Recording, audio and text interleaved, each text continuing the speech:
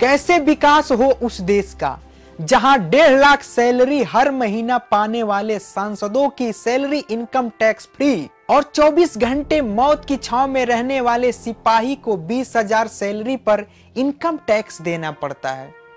सांसदों को परिवार के साथ रहते हुए भी हर साल पचास हज़ार फ़ोन कॉल फ्री, घर से हज़ारों किलोमीटर दूर बैठे सैनिक को एक कॉल भी फ्री नहीं।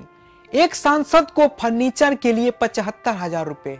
बॉर्डर पर सैनिक को ड्यूटी के दौरान बारिश से बचने के लिए टूटी हुई छप्पर।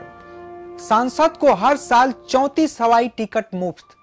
सैनिक ड्यूटी जाते हुए भी अपने पैसे से टिकट लेता है। सांसद को वाहन के लिए चार लाख का इंटरेस्ट फ्री लोन। एक सैनिक को घर के लिए लोन भी बारह दशमलव पचपन प्रतिशत दर से मिलता है। और ये सब वहाँ हो रहा है जहाँ पूरा देश इस सैनिक की वजह से अपने परिवार के साथ चैन से सोता है। एक बेटी ने अपनी माँ से पूछा, माँ, रेडियो पे सुना इंडिया जीत गई। जो खेल रहे थे, उन्हें एक करोड़ रुपया मिला। माँ बोली हाँ बेटी, सरकार कहती है वो देश के लिए खेल रहे थे इसलिए। बेटी माँ से बोली, आसमान में हेलीकॉप्टर से लटकते जवान को देख के।